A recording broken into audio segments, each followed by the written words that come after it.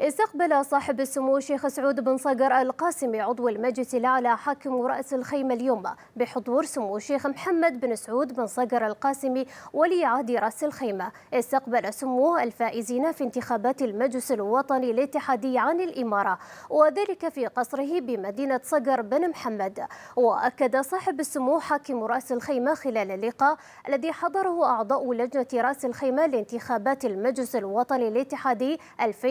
2019 أن تجربة الإمارات البرلمانية تشكل امتدادا لثقافة مجتمعية بدأت مع مجالس الحكام وعلى رأسهم المغفور لها لهما بإذن الله الشيخ زايد بن سلطان آل نهيان والشيخ صقر بن محمد القاسمي طيب الله ثراهما والتي كانت مقصدا للتشاور وتناول القضايا التي تمس المجتمع من كافة جوانبه حتى جاء المجلس الوطني الاتحادي بشكله الحالي والذي حظي بدعم كبير من القيادة الرشيدة التي سارت على نهج الآباء ودعمت التجربة البرلمانية.